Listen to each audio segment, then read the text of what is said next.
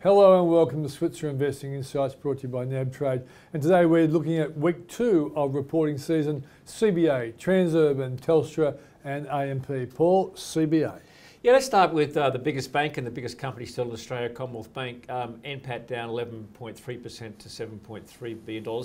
That was a little bit below market uh, consensus and one of the reasons the stock came off afterwards.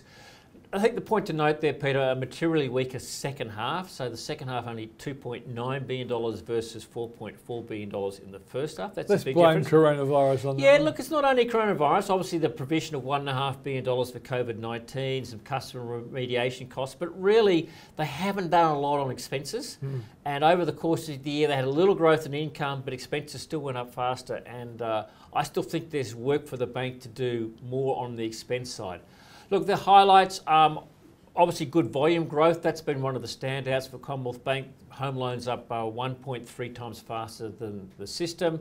$25 billion or more increase in customer deposits. So that a huge yeah. boom in customer deposits. Big four banks are popular during recessions, aren't they? They sure are. The final dividend, 98 cents fully franked. That was better than expected. Uh, this is under the new APRA guidelines. We tipped 80 cents, mm. um, but still down from $2.31. Um, and I suppose the other thing that came out of the result is that they're in a super strong capital uh, position. A CET1 ratio of 11.6%. That'll increase further to 12.2% following some already announced divestments. So they're going to have something like around about $7.5 billion worth of of surplus capital, that's above the sort of the unquestionably strong APRA benchmark. So hmm. uh, no problem on capital, and that was really driven home in terms of their dividend, Peter. Not they couldn't pay any more than 98 cents. That was 49.95 percent of what they could pay out. Yeah. But because APRA has put, put a cap on. APRA has put a cap on for this year, but APRA's also been saying if you're thinking about paying a dividend, have a look at things like your dividend reinvestment plan. Look at perhaps the discounts that you might give to, to shareholders encourage people, to yeah. encourage them to take it up, so that so that your, your, banks don't have to pay out the cash. Commonwealth Bank said no discount. So. Mm. Uh, Look, super strong capital position, but CBA is trading at a huge premium to its uh, to its competitors, and I think that's really why it came down after the result, Peter. Because look, it, was a good report, but mm when you're such a premium, you know, you've got to do a little bit more, and I don't think we really saw it on the sort of cost side. Buy, sell, or hold. Paul. Look, a hold, core portfolio stock, you know, market sell off, it'll be do the best of the banks. Mm. I like CBA in conjunction with one of the other majors. Okay, let's go and look at Transurban now. Yeah, this company's also been challenged because of COVID 19 and the, and the changes people are working from home. So, uh, traffic down 8.6% over the course of the year and revenue down 3.4%. You can see that's mainly. Uh, but not exclusively in Melbourne, where the lockdowns have been worse. Yeah.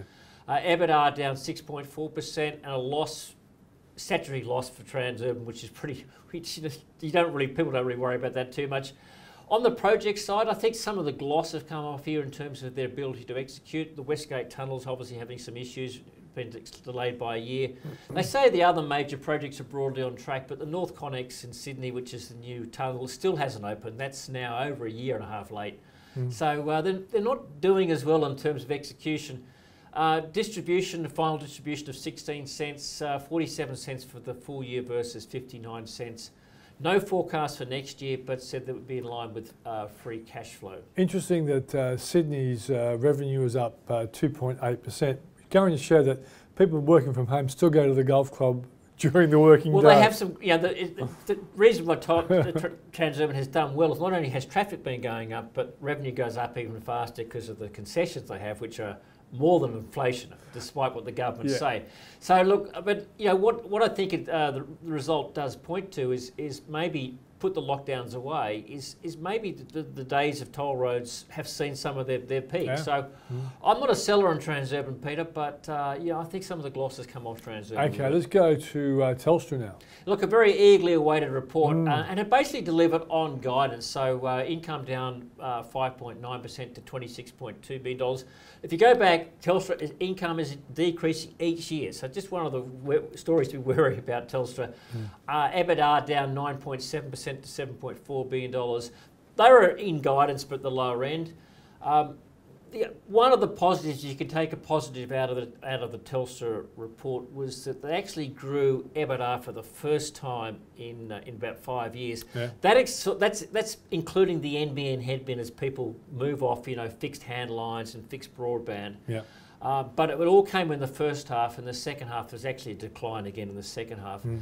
The COVID 19 impact, Telstra's done a lot to help its customers, it's done a lot with its staff, everyone's working from home.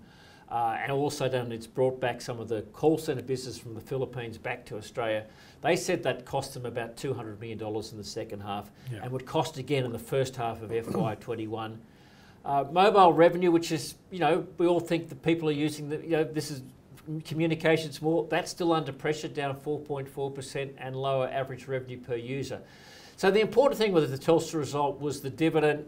They did maintain it at 16 cents, um, but it is pressured, and uh, some of the analysts after the result uh, revised their forecast. I think they'll probably still be able to do 16 cents, Peter, next year, but certainly market expectations are down, and it's going to get harder.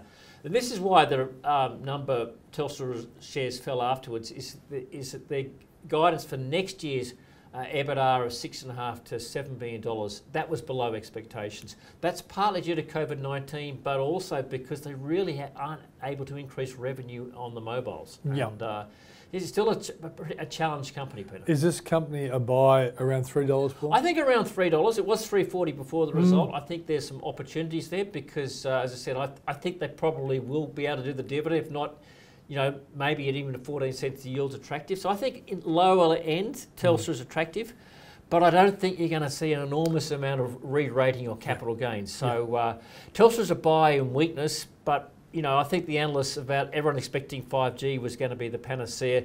It still might, but they're challenged to actually Yeah. grow earnings and revenue. And they, they'll need a nice strong year to bring business demand back for this company. Let's go to the next one, Paul. Look, another challenged company was AMP, uh, and uh, look, underlying profit here was down 42%. I don't think there's any surprise about that. What was perhaps unexpected was the capital return of $544 million.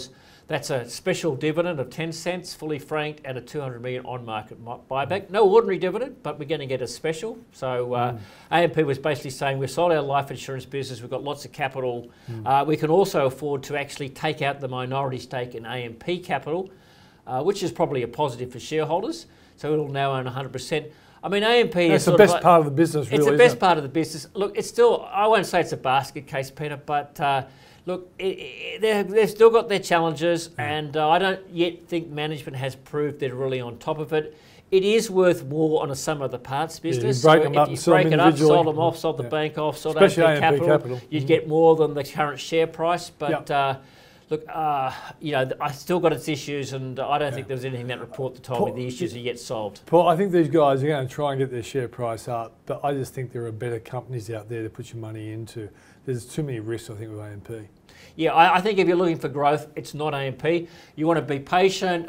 Look, eventually think that they will be broken up, which I think is probably still what's going to happen. Okay, hang on, you- but how, whether that takes 12 months or two years or three years, I don't know. But uh, I just think if you're looking for capital growth, there are better companies than AMP up there. Exactly. That's Switzer Investing Insights brought to you by NABTrade. Thanks for joining us.